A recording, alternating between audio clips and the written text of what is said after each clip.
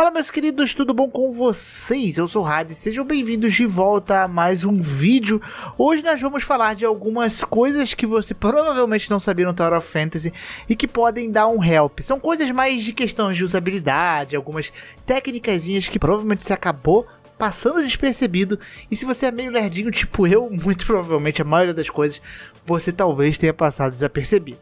Então antes de começar o vídeo, não se esqueça de deixar seu like, se inscrever no canal e vem comigo pro vídeo. Bem, uma coisa que eu não tinha percebido no jogo, e nossa, eu, eu toda vez que eu precisava usar isso, eu meio que ficava chateado com o jogo, bolado com o jogo mesmo, era a questão de trocar de relíquia, cara. Pois é, o que acontece, né? Você tem o, o menu aqui de relíquias e você pode usar, né, equipar apenas duas relíquias por vez. E isso me deixava muito irritado, porque às vezes eu precisava usar uma, um cubo, por exemplo, eu tinha que vir aqui e ficar trocando pelo cubo, né? Pegar isso aqui e ficava trocando. Aí eu descobri que existem os sets de relíquia aqui, tá? Você pode fazer sets de relíquia dependendo aí do combo que você quer. Então, ah, eu uso o set que é o set de exploração. Então eu uso o, o negocinho de voar, né? E o gancho de mão, que são as melhores coisas para explorar. Mas existem puzzles no mapa que você precisa usar outros, como o cubo, isso aqui, né? E, por exemplo, andar na água se você precisar. E aí, né, eu não tinha visto aqui, dá pra você fazer esses sets. Mas melhor ainda que isso é que você pode trocar esses sets, cara.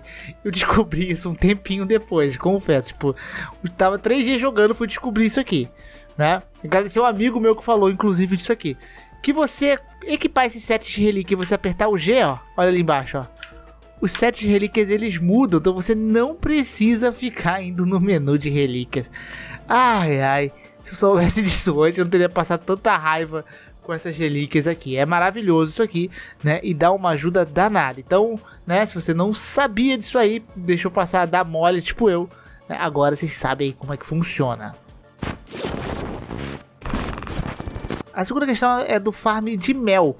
Você pode usar o mel, o mel ele cura uma quantidadezinha até que legalzinha do seu, da sua vida, né? Mas você pode formar infinitas quantidades de mel se você quiser, ou pelo menos um, uma quantidade adequada para você ficar usando, ter uma comida para você ficar gastando à toa, sabe? Não ficar gastando as outras, conforme você explora.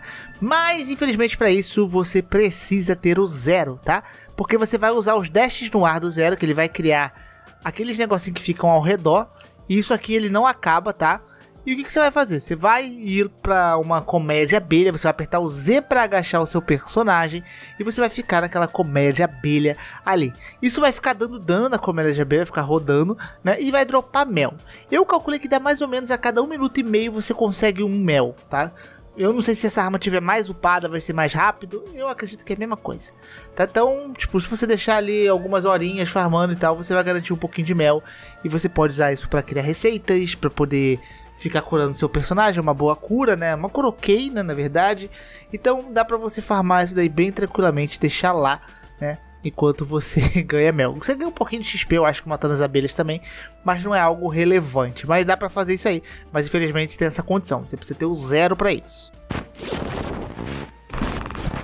Outra coisa que eu quero agradecer um inscrito que eu esqueci quem foi, mas que comentou aqui também, é em questão de marcação de pontos no mapa. É um negócio muito contra-intuitivo desse jogo, cara.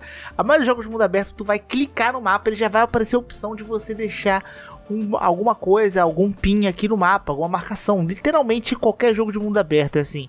Quando não é assim, ele tem algo bem explícito na tela. E aqui não é nada explícito, cara. Mas é só você vir aqui no cantinho direito, olha isso, era muito fácil. E você tem as opções de marcação.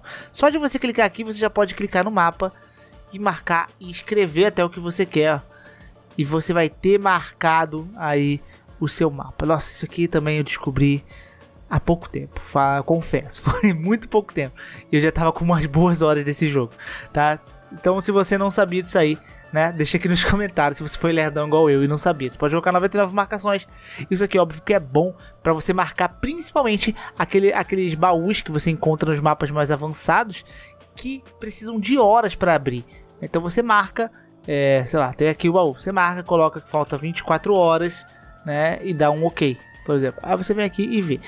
Infelizmente ele não mostra o horário, mas você vai ter uma noção mais ou menos aí do tempo e de qual baú que é, tá? Então vale muito a pena isso aqui e eu demorei para descobrir porque eu sou lerdo. Outra coisinha que eu acho que a maioria viu, mas né, não custa comentar, é em questão desse equipamento aqui que você tem. Isso aqui, ele é meio que parecido com o Genshin, tá? É, é como se fossem os artefatos do Genshin, porque você ganha atributos básicos com isso aqui e você ganha atributos aleatórios, tá? Então, dependendo do quanto você vai farmar isso aqui, você vai querer os atributos aleatórios relacionados mais ao, ao tipo de personagem, ao tipo de build que você está fazendo, tá? E você consegue isso aqui de algumas formas, tá? Principalmente você fazendo os, as coisas que precisam de vitalidade. Mas o que eu quero falar aqui é que você pode upar à vontade isso aqui, tá? Você vem aqui qual que você acha mais interessante, né? Sei lá, se eu gosto de crítico, você pode procurar um aqui que tem um atributo que tenha dado crítico, né? E você pode escolher é, upar ele se você quiser. Se você quiser não, você pode upar de qualquer jeito, né? Porque o que, que, acontece? Quando você for upar isso aqui, né? Você tem essas cápsulas aqui, você ganha aí fazendo as coisas do jogo. Né, você pode, ó, upa à vontade até acabar as cápsulas. Né? E o que acontece? Ó, você tá vendo que tá no 3 aqui. Se você equipar outra luva, se você vier aqui equipar outra luva, você vai reter o nível 3, ó, sempre que você for trocar, ó. Beleza? Você vem aqui, ó. Você vai ter a opção de reter. E aí, né, você vai reter, ou seja, você não importa se você pegar algo melhor com atributos melhores depois, né, você vai poder aí reter e tudo que você upou vai continuar. Então fiquem tranquilos, que você pode maximizar à vontade de acordo aí com o que você quer, o atributo que você mais quer. Beleza? Então isso aqui é algo que eu acho que é bem interessante de comentar, embora o jogo avise, né, pode ser que você tenha perdido de alguma forma. Outra coisa, né, já no menu de inventários, nós temos aqui a questão dos simulacros, que é algo que eu ignorava um pouco, confesso né? Vou pegar aqui um qualquer personagem, tá? E você tem aqui desperto, a aba desperta, onde você pode dar presente para esses personagens, tá? E aí você você vai dar presente para esses personagens, né? Quando você der presente, você vai desbloquear algumas coisas aqui.